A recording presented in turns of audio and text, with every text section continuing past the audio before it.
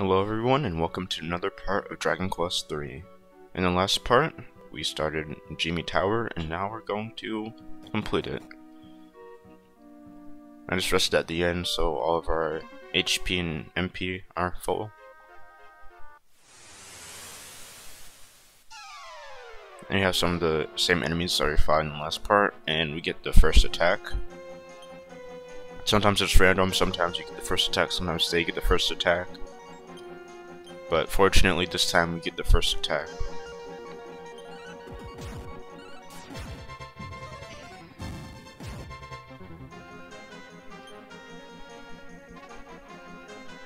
Alright. Sweet.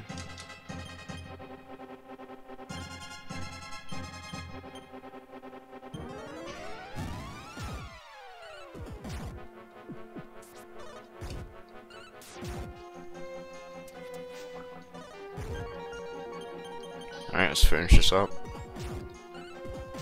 And there we go. And Sakura reaches level 4. Nice.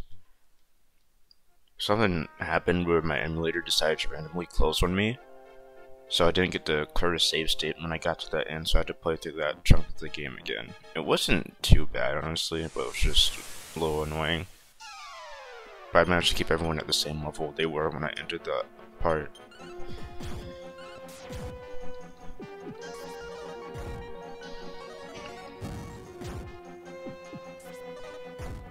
And one of my tips is that try not to conserve your MP too much. But if you're if you're like me and your spellcasters have like tons of it for where you are in the game, then just use it as much as possible to get rid of the enemies quicker. But if you don't have as much, then like use it, but like just try to keep a good balance. Is what I'm trying to say. But if you have a lot like me, then go nuts. Pretty sure that's everything on this floor.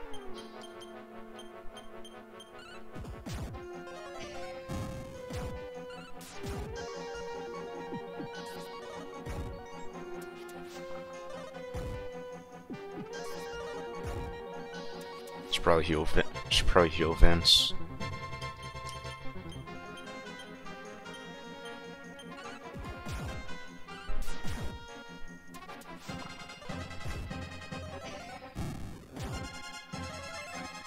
All right.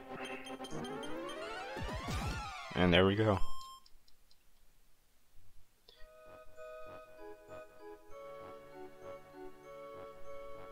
Yeah, I think that's everything. Yeah. That ends, alright. Let's go to the next level.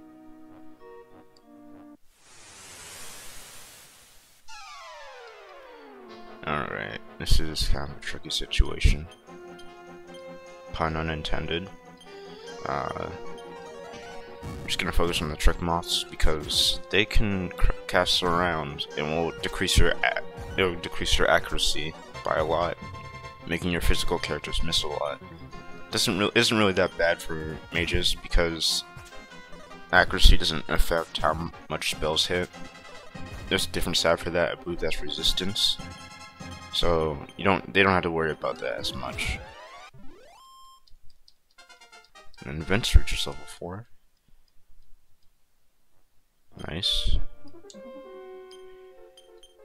I've actually been playing quite of Earth, quite a bit of Earthbound lately, so the menu like the menu patterns, like I'm gonna, I might mix it up with that game from time to time.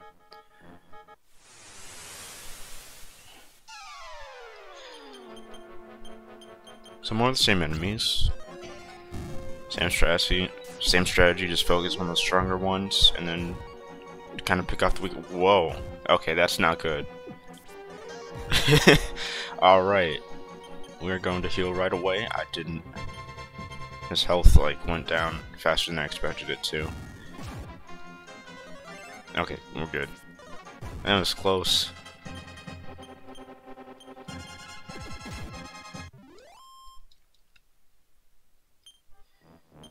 Alright. Keep on going. Hope I don't miss any chests in this place. Yeah, 316 gold, not bad. pretty easy encounter here.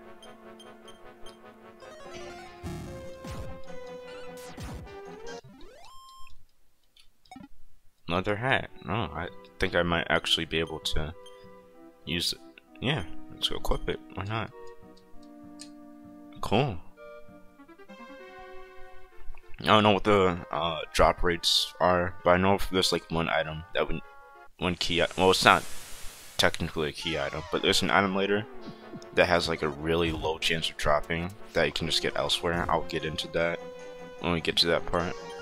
Anyway, as you saw there, the enemy got in the first strike, as opposed to as opposed to us getting the first strike. So, like I said, that can happen. So just be prepared. It's always why it's a good idea to heal heal up after every battle.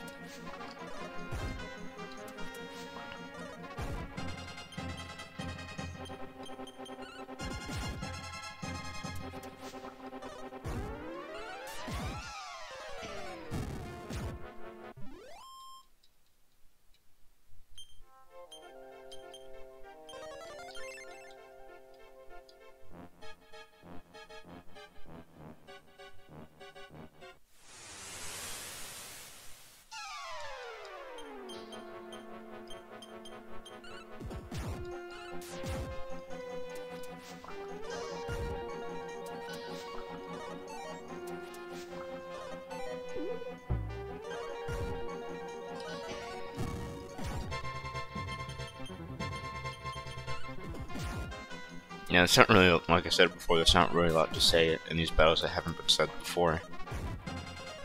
So I'm sorry if the commentary is kind of dull. And there's some stairs up there. And there's a chest over here. I think the stairs that we saw earlier lead to another chest. We'll come back for that.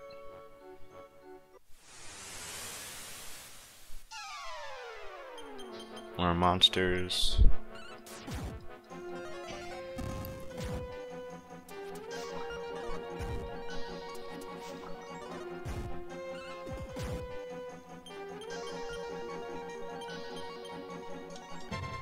Yeah, I don't think I need to heal. We're gonna be good.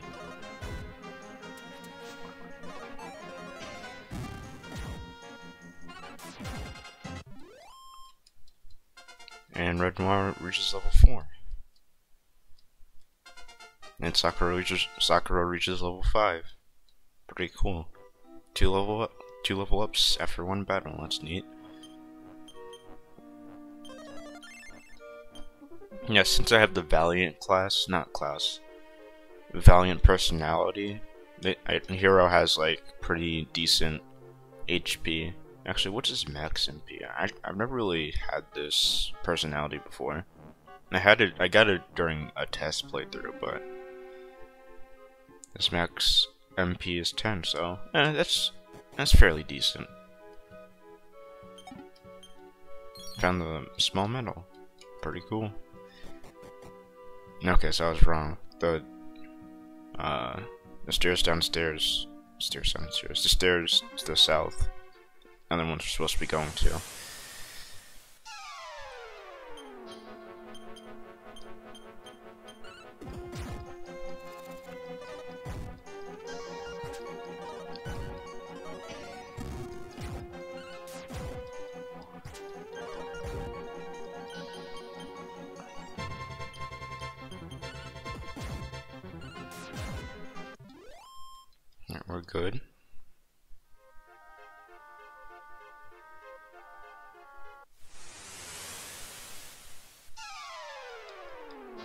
Group is surprised.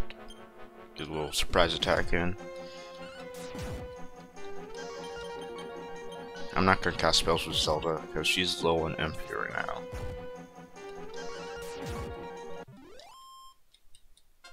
And Zelda reaches level 5 and she learns Upper and Ice Bolt. These two spells, and the official translation, Upper is called Oomph, it increases your attack, and Ice Bolt is called Crack. It's an ice attack. Pretty self-explanatory. And that's actually much more powerful than Frizz. So, when I refill her MP at the end, I'm going to be using that instead of Frizz for the most part. Oh, you know what? Why not? Let's just use it now. Just to demonstrate how strong it is. Oh, that's not good.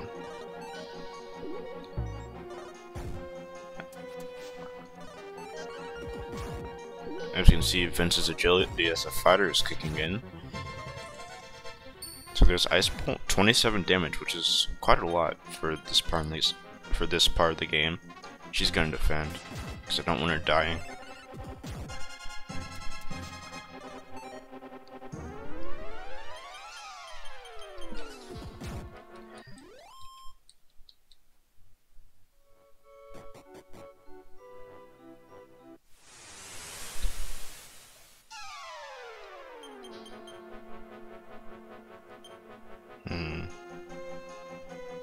I'll have her defend again.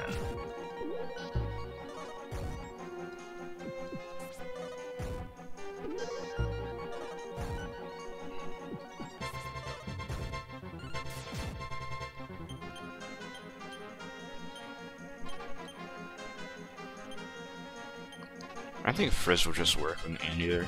And oh yeah, that's something I forgot to mention. You can actually attack your own team you might be thinking, why would you want to attack your own team? Well, there's stuff like confusion, and if your team member gets hit, it might snap them out of that, so that's why you might want to do that. Hopefully that won't happen a lot.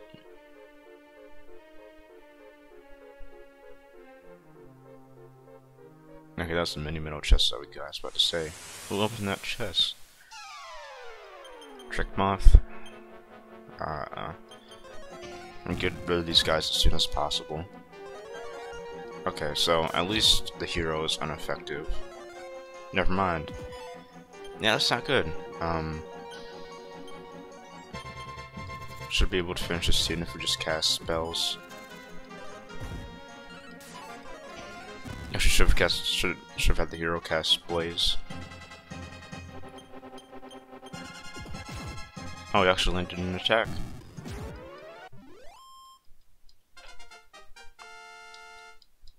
Yeah, the hero can cast offensive magic. He's kind of, like I said, he's like almost like a jack of all trades with an emphasis on physical attacks, but he can also heal and cast offensive magic just in case something happens to your mage, which is pretty cool. I like to use him as a backup healer later in the game. Hmm. Might as well just go all out.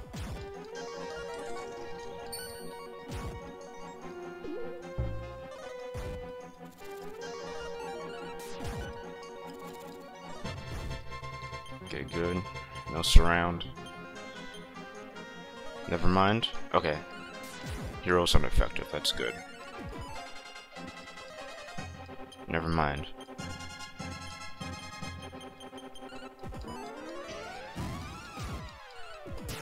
Oh, critical hit from the mage.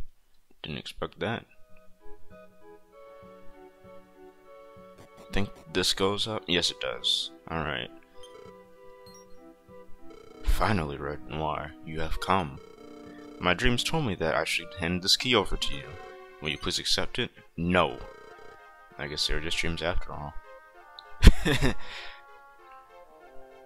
I just want to see what happens if you say no, but we have to say yes.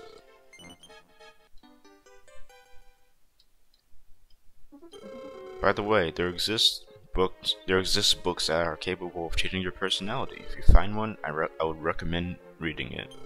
Continue on your way, Red Noir. I'm going back to sleep. I'm going back to sleep. Relatable. Look get the Tomboy book. And there's nothing on the shelf. The Tomboy book is pretty useful if you have a female fighter or female warrior, which we don't have. I have a male fighter. Because on my first playthrough, I actually chose a female fighter but anyway, we have more enemies to fight. Hmm.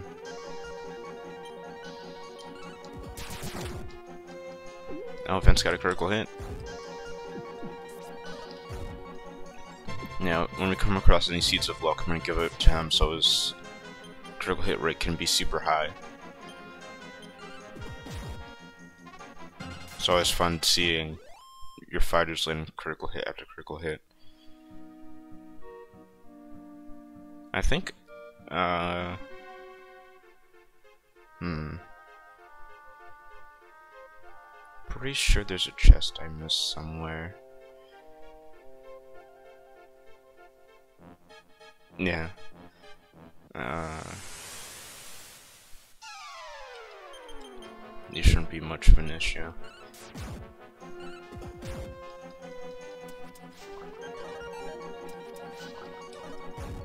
My memory is kind of foggy with this place because it's at the beginning of the game and I haven't played this game in about a month.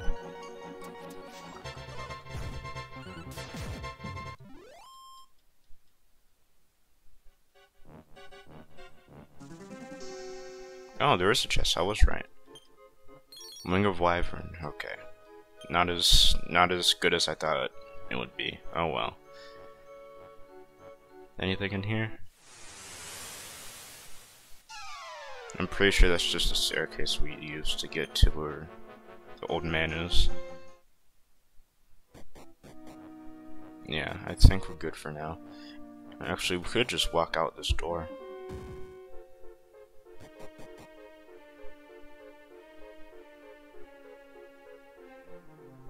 Is there anything up here? Oh no, it's just the other part. I'm gonna fall off. We're gonna end up outside the tower. We can just walk back in. And we're gonna stop at the end so we can refill the HP and MP.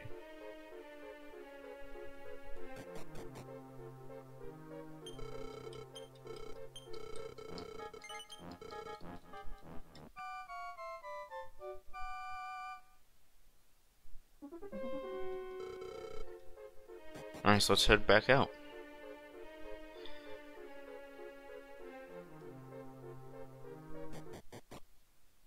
If you remember, we went to the left and we came down this way, but we haven't gone to the right, so let's see what's down here.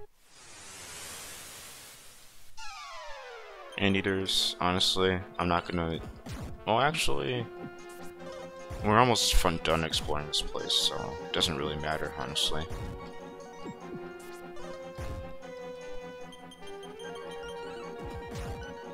I was gonna say I want to conserve my MP, but like I said, we're almost finished with this place, so not really much of a point to that. I guess we'll just go all out.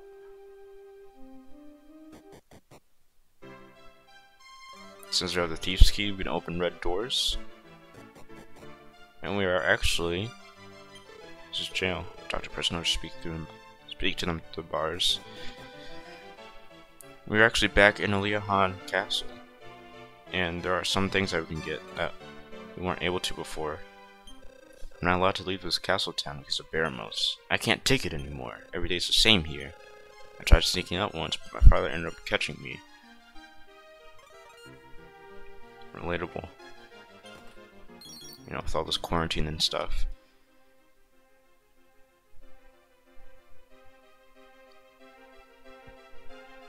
So we got the mini medal. We can't access that yet, but we will be able to a bit later in the playthrough. Let's see what this guy has to say. Ah. I served, I served in the castle Aliahan for over 10 years now. I always dream of becoming a scholar, but, my, but failed my entrance exam. May have done better if I read the smart book. Yeah, it's one of the personality changing books. Pretty good for your uh, mages, because it increases their intelligence, I believe. Might just be assuming that because of the name, but intelligence affects how much uh, MP you have, which is why I gave him so many uh, intelligence seeds. This is a door you could actually open before. It's just the red doors that you need the thief's key for. An adult herb.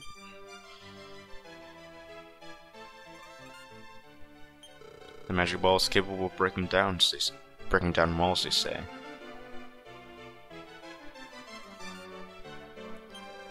Are you here to see me? Oh, you've only come here by chance?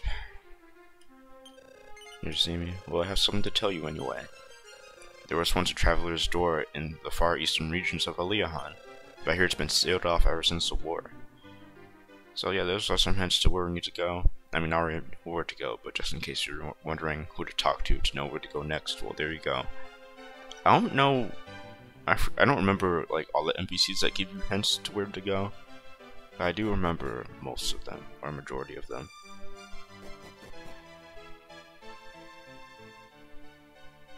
So that's that.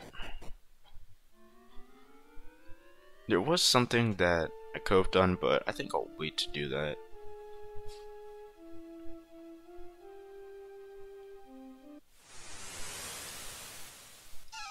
But there's one more thing that we have to get in this place. Oh, the frog quickly dodged. Three damage for Zelda.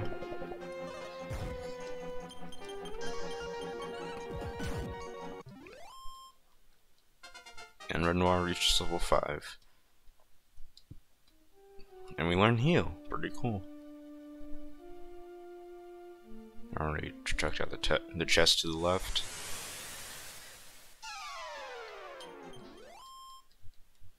And Sakura reaches level 6. And learns speed up, which is accelerate. It increases the speed of one party member, which is pretty useful if you just want to kill a boss before it kills you, or if you want your healer to get in your spells before the boss can do mortal damage to one of your uh, party members. Open the chest and get a wooden helmet. I'm pretty sure this is better than the leather one. It is. Alright, so we're gonna trade that with, I guess, the Tomboy book. So there we go, and then this one we have the agility seed. And I'm gonna give this to Vince because I just want his agility to be through the roof, same with his luck. These stats are, oh, three points, not bad. These stats are inherently high since fighters have high agility and high luck for critical hits. But I just want to boost them even further.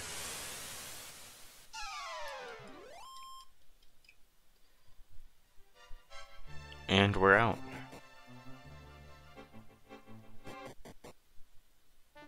Alright guys, I think that's going to be it for this part. I hope you guys enjoyed. In the next part, we're going to check out the Traveler's Door that everyone's been talking about. Again, I hope you guys enjoy it, and I'll see you, I'll see you in the next one.